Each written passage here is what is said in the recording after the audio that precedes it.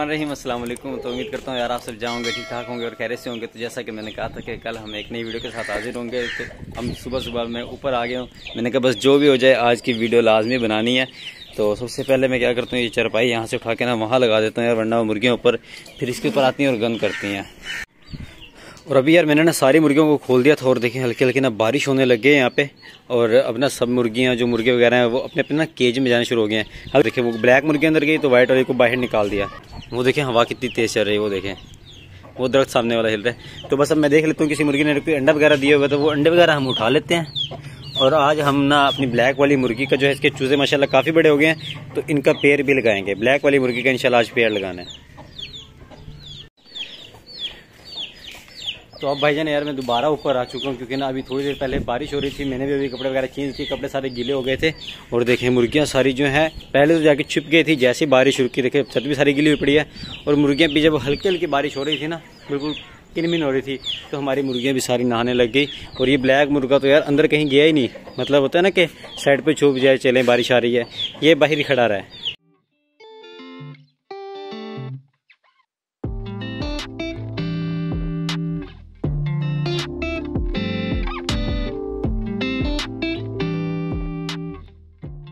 तो यार जैसा कि मैंने कल बताया था ना कि गोल्डन मुर्गियाँ, देखिए हसीब के आदमी भी आसानी से आ गई है।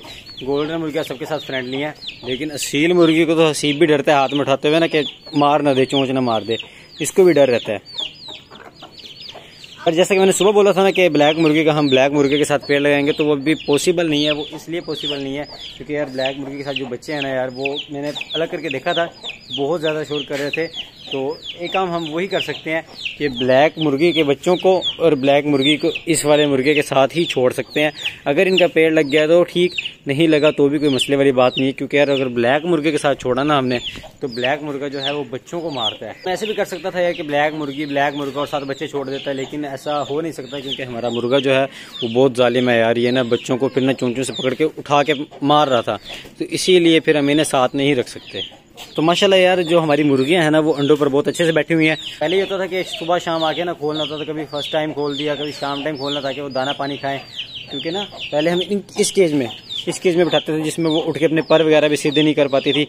इसमें या इसमें, इन्हीं में देखा होगा आपने, या हमारा वो पर एक वो वाला जो केज है, उधर, उसके भी हमें खोलना पड़ता था। लेकिन अब ये केज है, ये इनफ है इन दोनों के लिए, अंदर ही खाने पीने और अंदर ये अपने जो है वो पर वगैरह सीधे कर लेंगे उठ के।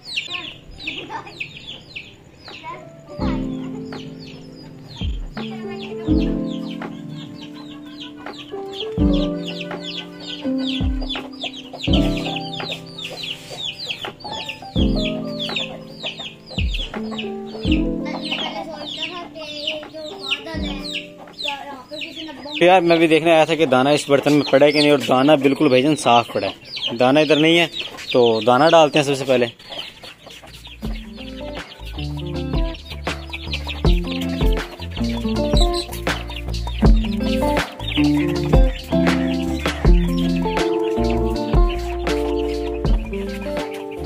माशाल्लाह से हमारे सभी जो मुर्गे मुर्गियाँ यार, वो खाना खा रहे हैं। आसानी से, क्योंकि पहले तो बारिश हो रही थी, इसीलिए मैं भी नहीं डाल सका इन्हें खाना, और अगर मैं दाना डालता तो दाना सारा यार वो गीला हो जाता। लेकिन अब जो है मुर्गे मुर्गियाँ जो है, वो सुकून से खा रहे हैं।